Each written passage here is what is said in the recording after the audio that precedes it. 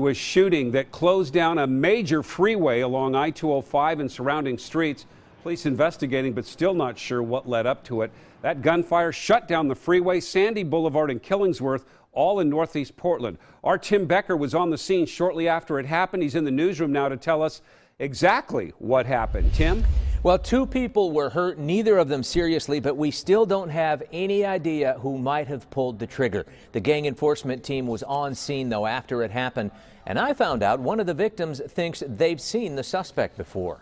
I asked, what's going on? Well, she got shot in the hand. So I was like, oh my goodness. When James Massey pulled up to the scene, this 1996 Chevy sedan was already empty. Its windows shattered by bullets, and a woman on the nearby grass had a bleeding hand.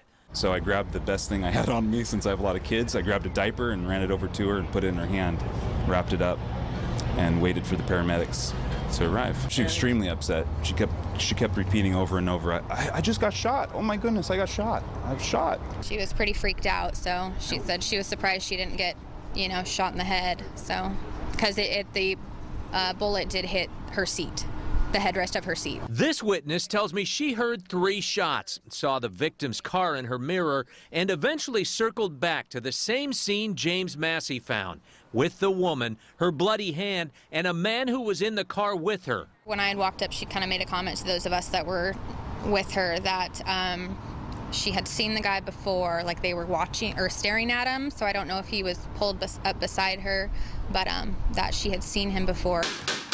I didn't find anyone at the last address registered for the car that was shot at, and police are not saying if the victims knew the shooter. The gang enforcement team on scene, though, a hint that this might be yet another visible case in an epidemic of gang related gun violence in Portland, the worst we've seen since police started keeping records. They say the suspect's car was last seen speeding away northbound on I-205. When you know that it's that close, it's kind of unnerving to, you know, hear those and not know where it's coming from. Tonight, we're still not sure if the woman was actually shot in the hand. I say that because one witness overheard police saying she may have been injured by the shattered glass. But again, both people in that car were taken to a hospital. They had injuries, but both those injuries non-life threatening. Jeff, back to you. Okay, Tim, thank you. Now